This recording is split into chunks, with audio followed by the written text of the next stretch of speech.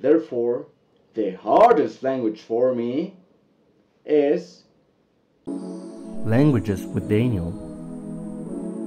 Hello, welcome back to Languages with Daniel. Today we are going to talk about an interesting topic about which one is the hardest language to learn. So, first of all, we must clarify what does make a language easy or hard to learn. There's not something just as a hard language to learn because a baby it's able to learn any single language, it doesn't matter which one. The thing is that when we're already adults, some languages are easier and others are harder. Here comes the question what does make a language hard to learn? We must consider two main factors that determine how hard or how easy it's a language for us. The first factor is the closeness with our mother tongue. You know, some languages are closer to our mother tongues. The closest is a language to our mother tongue, it will be easier for us to learn, to know words, and so on. For example, if you already speak Italian, Spanish will be easy. For example, amigo, Spanish, amico, Italian. But for example, let's take Finnish, ystävä. It's totally different.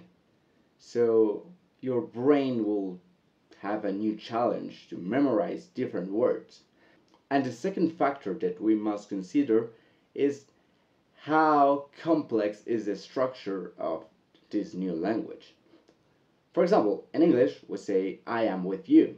In Finnish we will say minä olen sinun kanssa that it could be literally translate as I am of you with.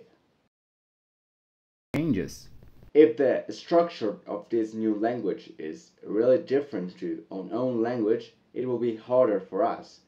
But for me, what makes a language really, really hard is when there is a negative atmosphere. What do I mean with a negative atmosphere? There's no content, or at least there's no content that you like. That means there's no music, there's no videos, there's no movies, series that you like, or just none of them. Second, the native speakers are shy, reserved, and they are not really willing to help you. Therefore, the hardest language for me is Swedish. But Daniel, Swedish is not that hard. If you speak English, probably you will learn in a year Swedish perfectly. Yes, the grammar of the Swedish language is not that hard. But the atmosphere, it's really, really negative. What do I mean? Swedish people are shy.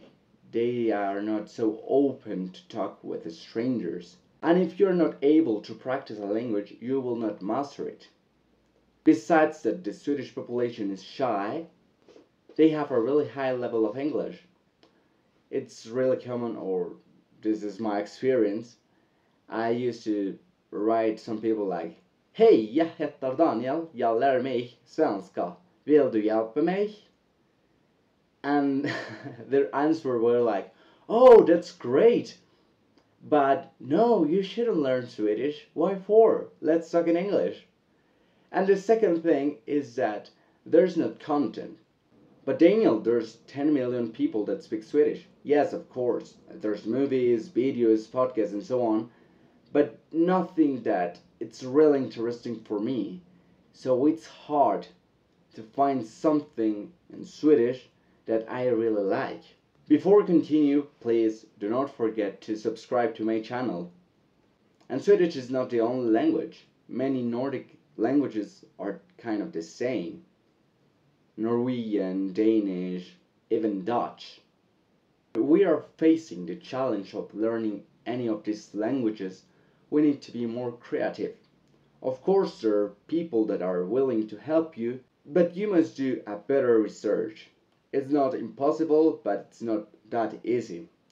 So, in general, it doesn't matter how hard or how different is a language from your mother tongue. As soon as you are exposed to a positive atmosphere, you will learn that language easily.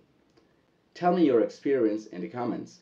Have you ever tried to learn any language with this type of challenge? Don't forget to subscribe and we will see you the next time. Bye.